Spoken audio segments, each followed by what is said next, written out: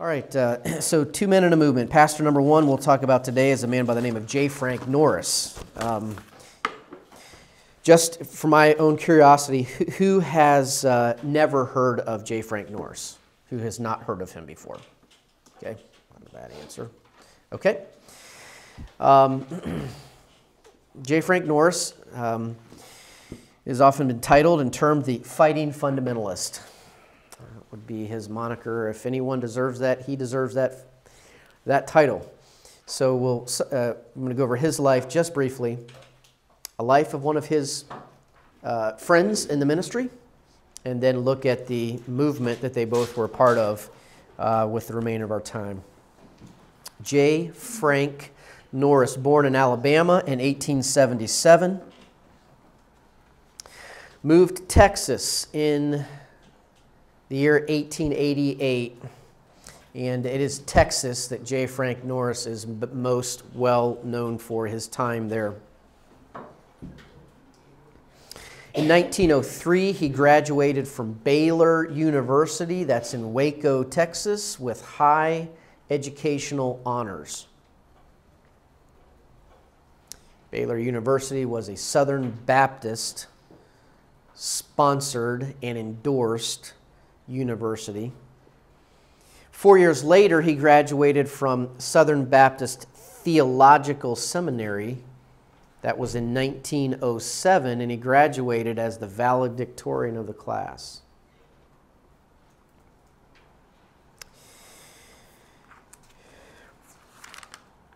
We're going to look at J. Frank Norris um, in uh, about five different areas um, of his life.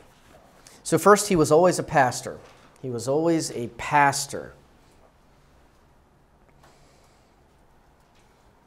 For over 40 years, he was the pastor of the First Baptist Church of Fort Worth, Texas. Prior to that, he'd pastored two other churches, but he's most well known for his 40 years at the First Baptist Church of Fort Worth, Texas, and for 14 of those years that he was the pastor of the First Baptist Church of Fort Worth, Texas, he was also the pastor of the Temple Baptist Church in Detroit, Michigan. Those two churches together, yes, I did say that, Texas and Michigan. Those two churches together had a combined membership of 22,000 people.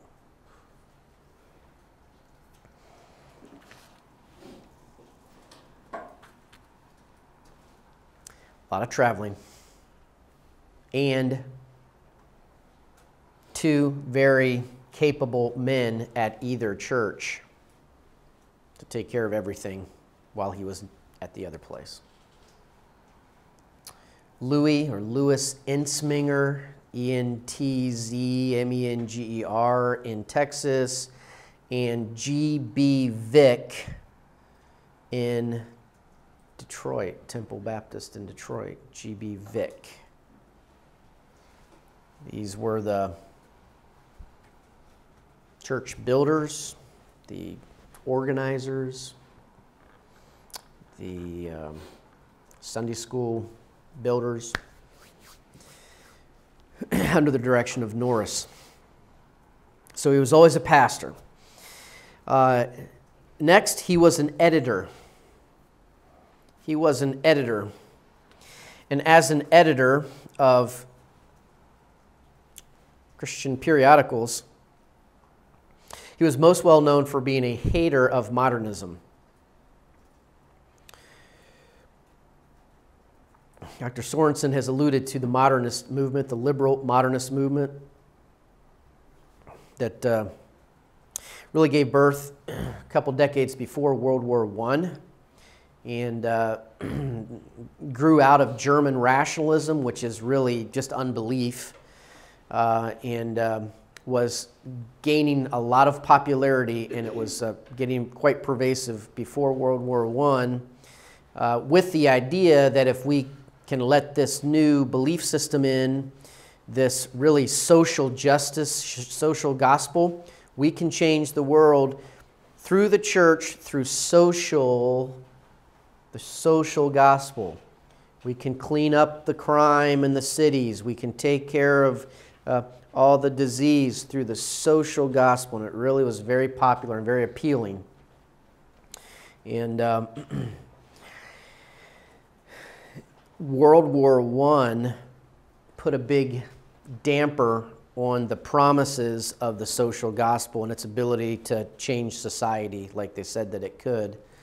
Um, but in the time leading up to that, it was a force to be reckoned with, with theologically. And so, as an editor, beginning in 1907, J. Frank Norris edited the Baptist Standard. That's a Southern Baptist publication. And then from 1917 to 1921, he edited a magazine called The Fence Rail. From 21 to 27, the magazine he edited was called The Searchlight. The picture on the front of that magazine is of a, a big light shining down, seeking out error to expose it. And then beginning in 1927, the magazine that he edited was called The Fundamentalist. I'm not sure how long that went or when that ended. That could be through his, uh, through his life. He was an editor, he hated modernists, and he used his publications to expose um, uh, the uh, fallacies as he saw them of the day, uh, particularly, particularly in the Southern Baptist Convention, since that's what he was most familiar with and that's what he saw clearest. He put the issues into print. And uh, I do believe you can, you can find uh, copies of that and see. Um, there was lively articles written.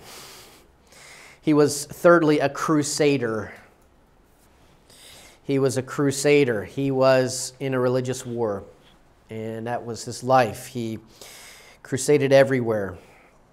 He was for right. He was for wrong as, as he saw it. He hit all sins with his pen and with his voice. One issue that he dealt with in messages and in writing was the uh, acceptance of the teaching of evolution into Baylor University. that was um, not many institutions of higher learning rejected evolution uh, that, ha- that were established uh, and Baylor uh, was one of them. And uh, the result of his uh, speaking out and, and preaching against the, this and other compromises going on at his alma mater was that he was kicked out of the Southern Baptist Convention in 1924.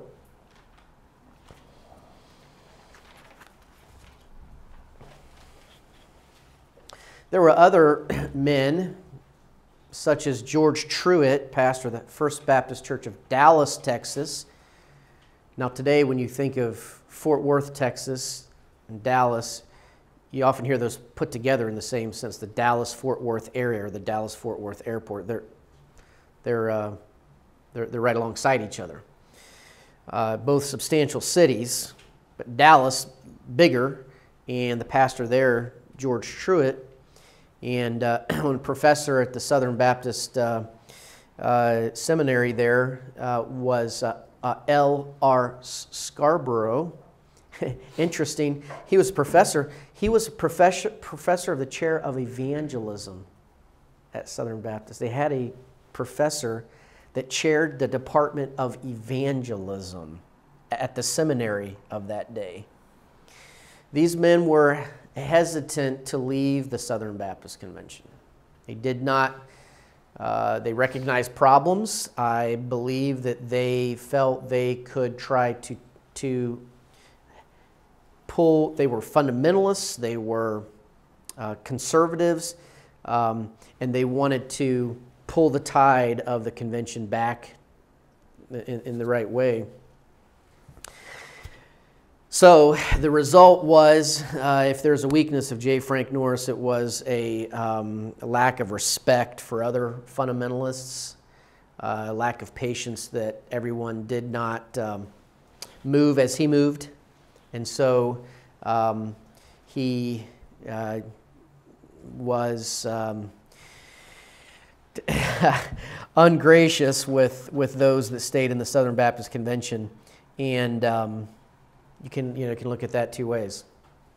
Uh, he wanted them to take a stand for what's right.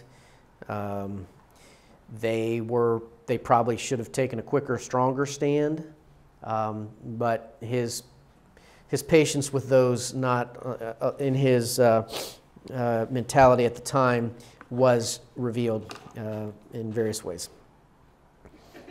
So that's how, that's that's what he was. So that was uh, maybe a weakness that he had. In 1936, he became the pastor of the Temple Baptist Church. The largest Sunday school in the world was the result. And G.B. Vick was the Sunday school superintendent. And uh, by all intents and purposes, G.B. Vick built that Sunday school to the largest in the world. And we'll see in a little bit the results of uh, G.B. Vick's work and what he uh, did uh, after he and Norris parted ways.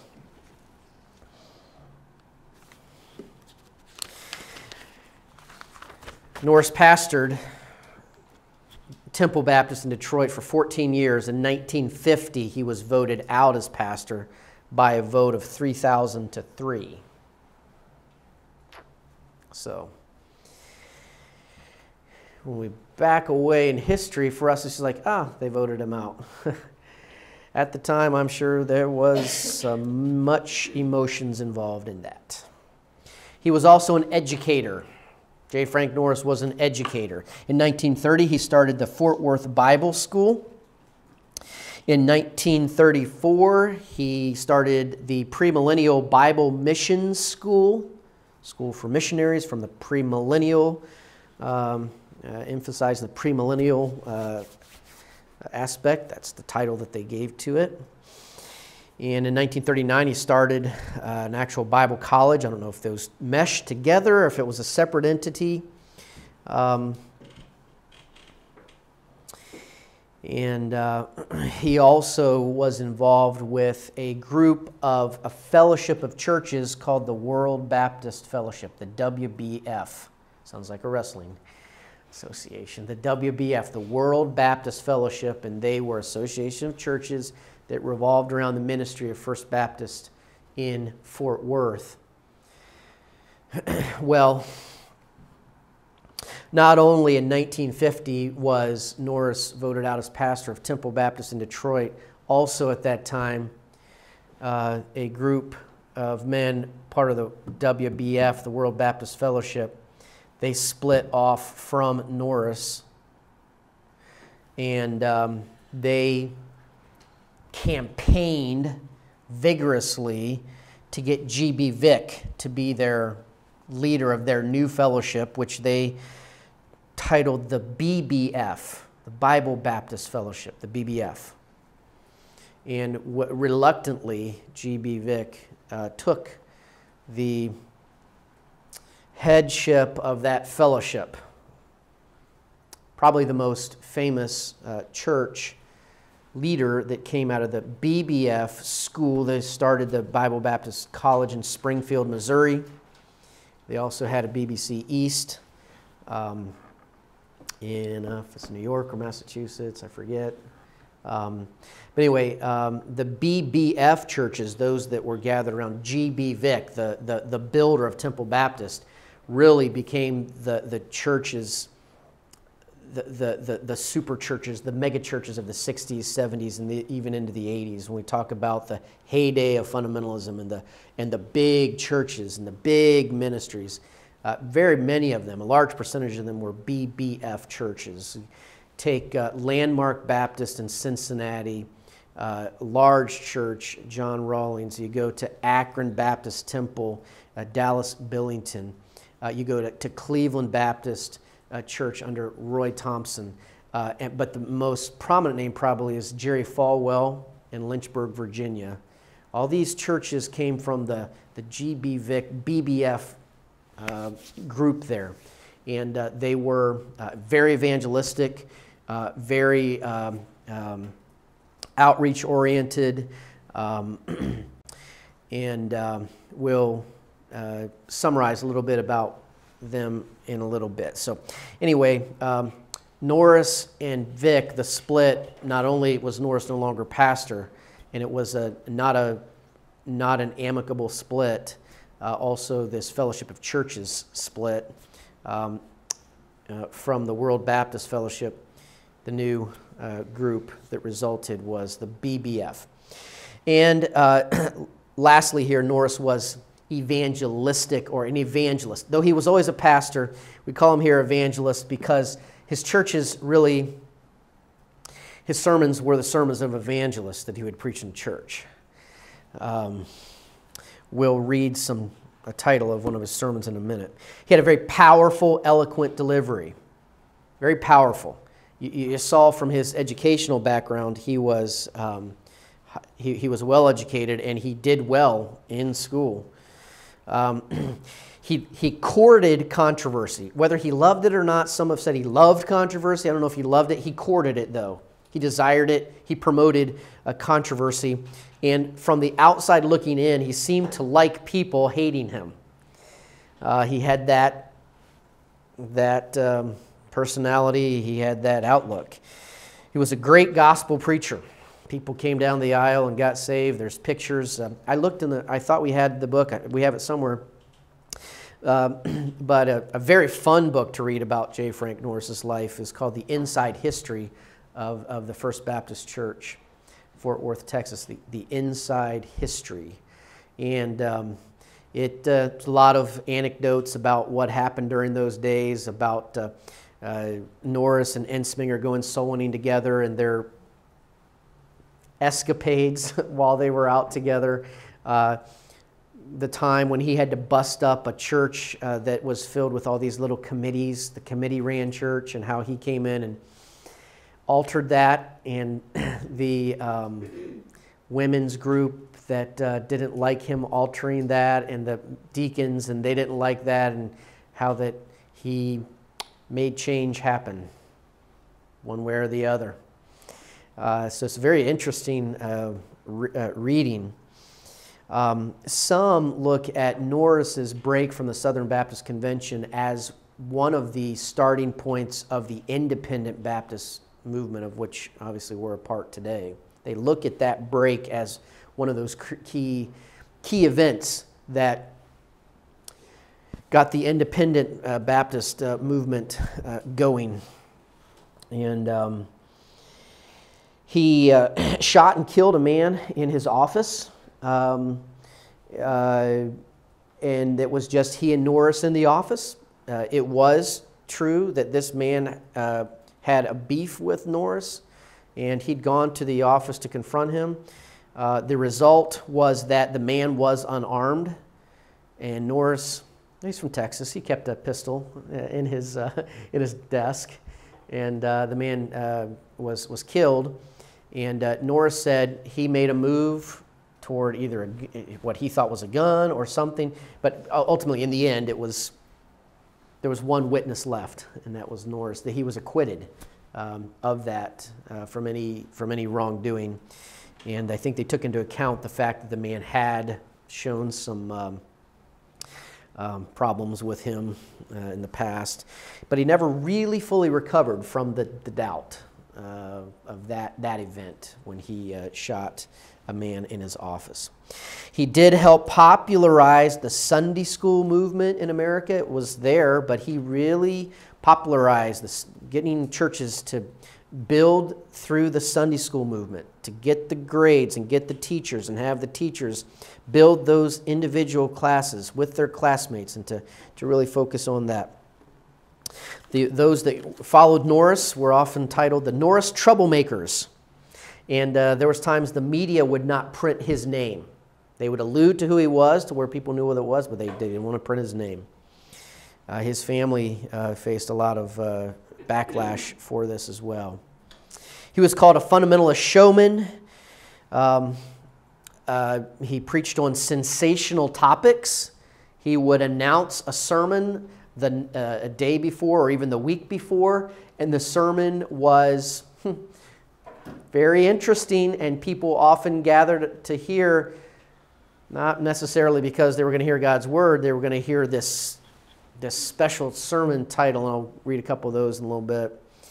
Um, but he did travel. He traveled a lot, and he worked among other churches. He, he, he preached in 46 other states in revivals. And um, he was um, very uh, interesting a man. Um,